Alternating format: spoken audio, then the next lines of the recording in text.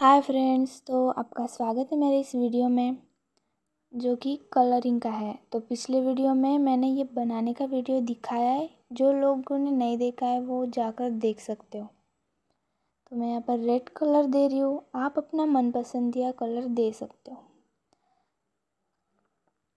तो चलो फटाफट स्किन कलर भी दे लेते हैं। और हाँ यहाँ पर मैंने ज़ीरो बी का जो पेंट ब्रश है, वो यूज़ किया है। आपके ऊपर डिपेंड करता है, अगर आप थोड़ी बड़ी पेंटिंग बना रहे हो तो वहाँ पर आप बड़ा भी ब्रश यूज़ कर सकते हो। हाँ तो रेड कलर था, इसलिए मैंने ब्राउन यूज़ किया है, शेडिंग के लिए। तो जैसे येलो हो तो थोड़ा सा आप डार्क येलो यूज़ कर सकते हो। ऐसे शेडिंग के अनुसार हमें देना है। और यहाँ पर हम पूरा जो फेस वगैरह है, वहाँ पर भी शेडिंग ले, के लिए कलर कर लेंगे।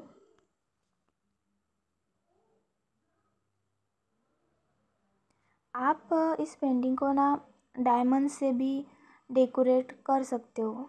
अट्रैक्टिव लगेगी। तो आइस हम बना लेते हैं। चलो आइस भी बन गए हैं। जो तिलक होता है, वो आप बना लीजिए। तो इसका जो पीछे का बैकग्राउंड है, जो उडन मैंने यहाँ पर यूज़ किया है, वो बहुत ही खाली खाली है।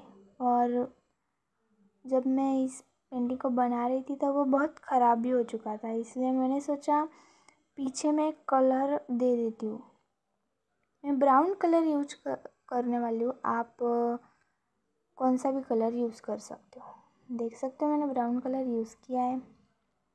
तो पूरे हमने दे दिया और उसके बाद बहुत खाली लग रहा था इसलिए मैंने येलो कलर के डॉट्स रखे हैं।